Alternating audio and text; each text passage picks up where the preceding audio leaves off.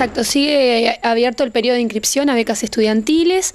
Recordarle a la población que el, tema de hogares eh, finaliza el 10 de febrero y el periodo de inscripción para apoyo económico finaliza el 27 de febrero. Eh, pueden pasar por desarrollo social a levantar los formularios y juntar toda la documentación necesaria para presentarlo luego acá en desarrollo o en el caso del interior en las juntas locales.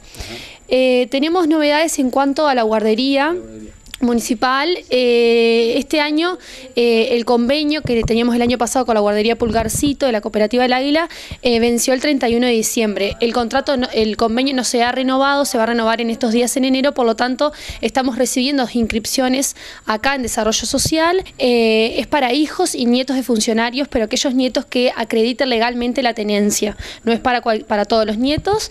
decir que extendimos el plazo de inscripciones acá en Desarrollo Social hasta el 30 de enero.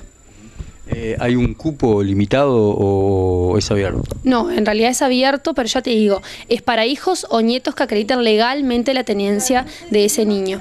Sí, en realidad no hay que traer documentación, simplemente es venir por desarrollo, el funcionario municipal viene por acá, se inscribe, le, lo inscribimos una planilla y luego lo, desde presentismo los recursos humanos lo llaman en realidad por el tema de la documentación. ¿Recordar hasta cuándo el plazo nuevamente? Hasta el 30 de enero lo extendimos, había vencido el 31 de diciembre, pero es bueno que todos los funcionarios sepan que lo extendimos, hay una circular interna que, que está circulando por la Intendencia, pero está bueno también que se enteren por los diferentes medios de comunicación, que es hasta el 30 de enero.